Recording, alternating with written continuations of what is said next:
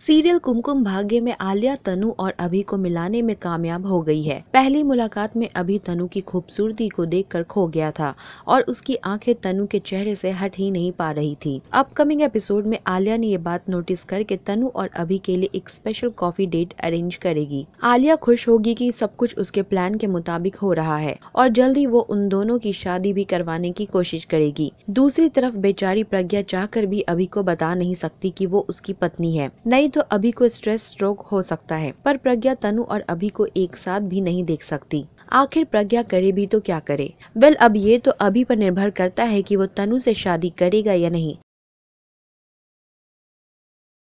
television के more updates के लिए देखते रहे हमारा चैनल